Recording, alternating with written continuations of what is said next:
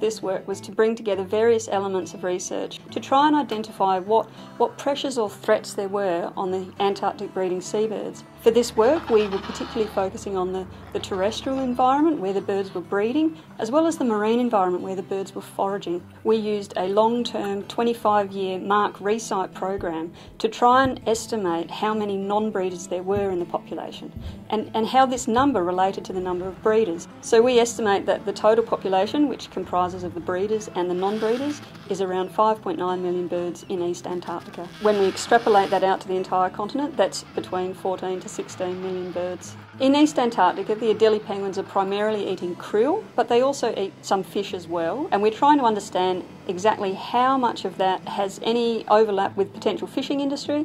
There were a lot of breeding Adelie penguins within very close proximity to the Antarctic stations. The Adelie penguins are trying to find locations to breed which are ice free and they're very close to open water. Our results can be used to identify areas which may need enhanced protection in the future.